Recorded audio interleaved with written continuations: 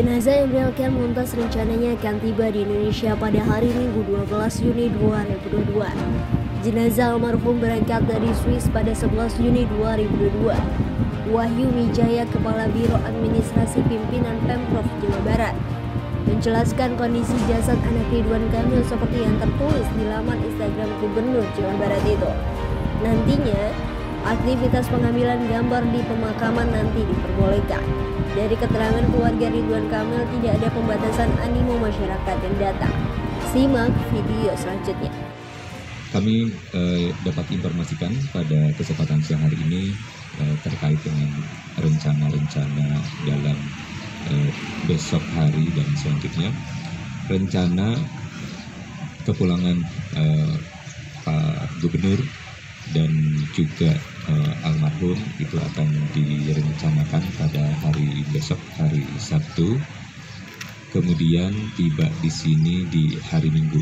Kami belum eh, dapat menginformasikan lebih lanjut terkait dengan jadwal penerbangan baik itu jadwal penerbangan eh, di sana dan eh, ketibaannya di sini.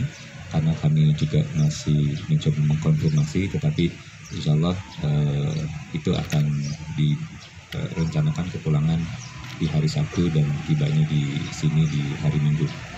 Kemudian setelah eh, tiba di Indonesia, maka eh, ini ada kami belum bisa memastikan juga apakah eh, akan disemayamkan dulu di sini atau langsung ke pemakaman karena kita melihat eh, waktu tibanya dulu. Kalau misalnya waktu tibanya eh, apa eh, memungkinkan untuk langsung atau apakah memang juga disemayamkan di sini. Jadi kita lihat eh, perkembangannya di hari besok. Nah, kemudian yang dapat kami informasikan lagi rencananya eh, almarhum akan dimakamkan di pemakaman keluarga itu di daerah Cimaung di Kabupaten Bandung. Ya di Kabupaten Bandung. Mungkin kira-kira itu yang bisa kami sampaikan. Terima kasih atas perhatiannya. Assalamualaikum warahmatullahi wabarakatuh.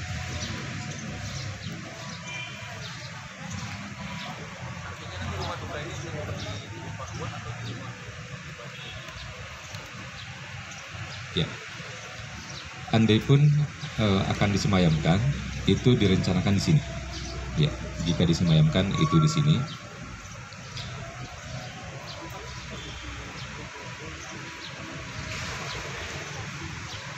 Ya kondisinya alhamdulillah baik. Eh, kondisi baik kemudian juga utuh dan ya. Ya, kira-kira gitu ya eh, kondisinya baik. Pengajian akan tetap dilakukan. Jadi kalau tiap eh, hari itu akan terus dilakukan dan jamnya juga sama. Kira-kira di pukul eh, apa setelah sholat asar sampai dengan sebelum maghrib. Kira kondisi untuk pengajiannya masih tetap dilakukan.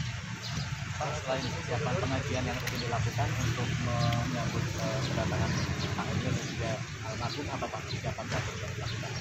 Ya, kesiapan-kesiapannya yang pertama eh, tentunya di bandara. Di bandara itu juga kita siapkan, kita koordinasi dengan eh, Kementerian Luar Negeri, kemudian dengan pihak bandara, kemudian eh, kesiapan eh, dari eh, bandara menuju ke sini atau langsung ke sana itu juga kita siapkan. Kemudian juga bagaimana kesiapan kalau misalnya disemayamkan di sini itu kita siapkan. Kemudian juga di eh, lokasi pemakaman itu juga kita eh, coba siapkan.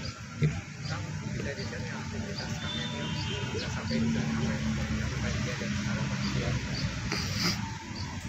Untuk aktivitas di sana, saya mohon izin nanti juga bisa disampaikan oleh pihak keluarga, ya. Jadi mohon maaf kalau misalnya hari ini saya belum eh, siang ini belum bisa menyampaikan. Rekan Alhamdulillah baik, alhamdulillah baik. Eh, insya Allah eh, kalau melihat perkembangan kondisi beliau dalam keadaan baik dan sehat. Ya.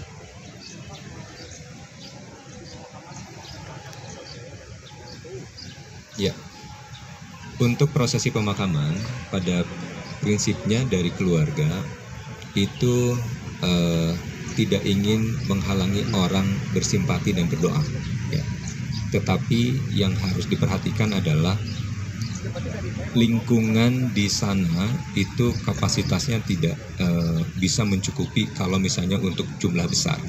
Nah sehingga kalau misalnya ada beberapa pengaturan-pengaturan di sana, eh, kami juga mohon maaf dari awal karena eh, kita ingin eh, keluarga nyaman, masyarakat di sana juga nyaman, semua yang hadir juga nyaman gitu. Jadi mohon maaf kalau misalnya eh, ada beberapa pengaturan-pengaturan pada kondisi di lokasi. Pak, Hmm.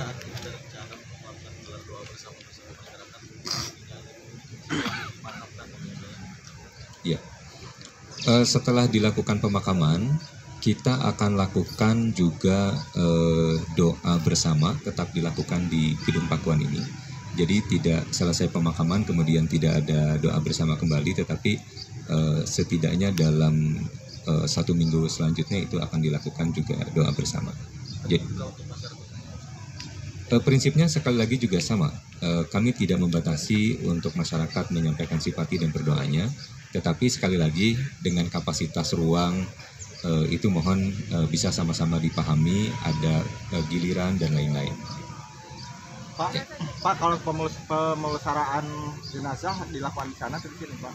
Sama siapa aja? Ya, itu sudah dilakukan di sana, sudah dilakukan dan itu meng- eh, sudah sesuai dengan syariat Islam.